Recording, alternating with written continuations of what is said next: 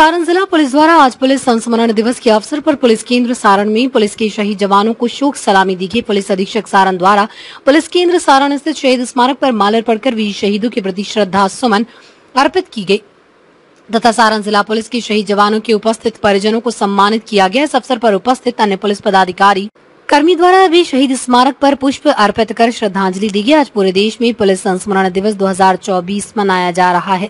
प्रत्येक वर्ष 21 अक्टूबर को कर्तव्य की बलि वेदी पर अपना सर्वस्व निछावर करने वाले पुलिस के जवानों के सम्मान में पुलिस संस्मरण दिवस मनाया जाता है। इस अवसर पर Chhapra SP doctor Kumar Ashish, police अधीक्षक सारण के द्वारा सारण जिला पुलिस की ओर से कर्तव्य की बलि वेदी पर अपने प्राणों की आहुति देने वाले देश भर के शहीद पुलिस कर्मियों को श्रद्धांजलि अर्पित करते हुए उनकी शहादत को नमन किया गया और उनके परिवार के प्रति संवेदना व्यक्त की और कहा कि पुलिस उनके परिवार का हिस्सा है, किसी भी तरह से कोई परेशानी न हो।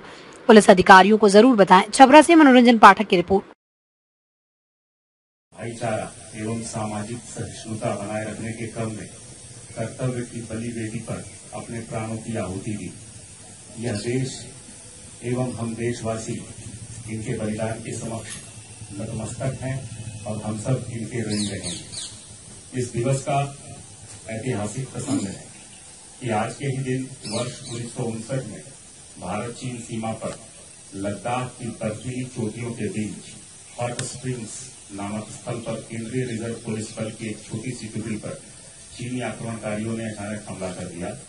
वहाँ देश की सीमा की रक्षा पर तैनात पुलिस के ग्यारह बहादुर जवानों ने अंतिम सांस तक लड़ते हुए अपने प्राणों की आहुति दे दी। वर्ष उन्नीस के पुलिस महानिरीक्षकों के सम्मेलन में यह निर्णय लिया गया कि इस दिन को पुलिस संस्मरण दिवस के रूप में मनाया जाए और तब से यह गौरवपूर्ण परंपरा नियमित रूप से निभाई जा रही है। वर्ष 2023-24 में हमारे बिहार पुलिस के पंद्रह जाबाज साथी कर्तव्य की बलिवेदी पर अपने प्राणों की आहुति दिए, जिनकी सूची और वीर गाथा इस प्रकार है।